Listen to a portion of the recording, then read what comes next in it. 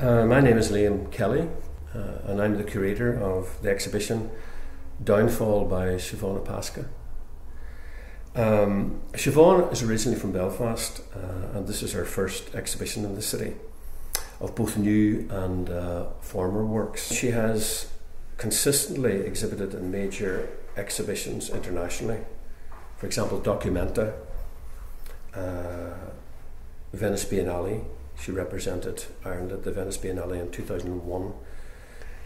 Now, Documenta in 1997, um, she exhibited, was invited to exhibit there, and uh, the artistic director of Documenta then was Catherine David, and the theme had to do with cities, networks, change in society, or changes in society, and globalization as we move towards the millennium then. And I could see clearly, because I visited that Documenta uh, and I met Siobhan for the first time, I could see how her work fitted into that fairly probing millennium theme. Siobhan Hapaska's work is also marked by binary oppositions, presence, absence, artifice, nature, life, death.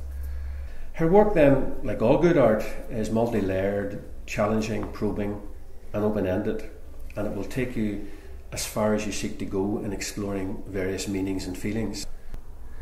Trees have always featured in a number of um, works, such as there's one called Perpetual from 2001, another called Holding from 2002.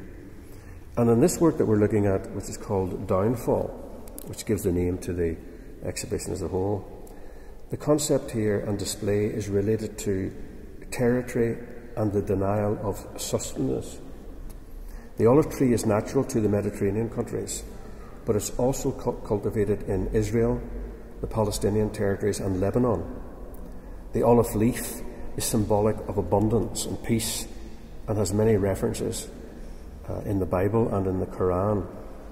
The root system of the olive tree is robust, but in downfall, which again is a, a multi layered title, it is subverted and dislocated.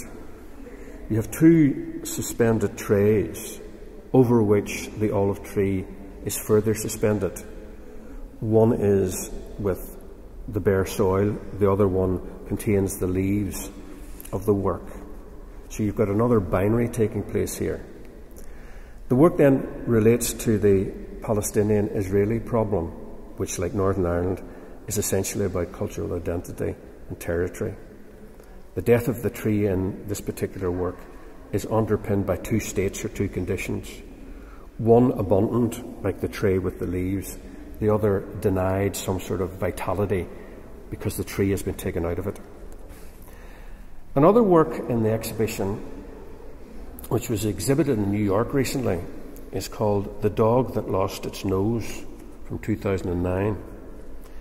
This work is made up of 11 stainless steel spheres suspended in line from the gallery ceiling, with each sphere increasing in size and coiled with a roll of animal skin. That idea of mixing artificial materials and natural materials um, is a favourite motif of Siobhan Hapaska. And in the work, each sphere can rotate on a different axis. As such, it continues an ongoing interest of the artist in movement, dislocation, collision, travel, and change, and the importance of a state of in betweenness.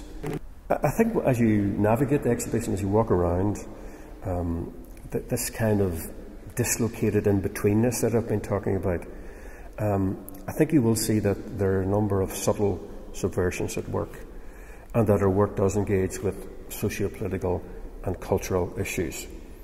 And perhaps you might also sense the fact that there's something in the work here that relates to the fact that she's from here, which is a divided society in many ways, as we know. Um, I think you asked me earlier about my favourite work.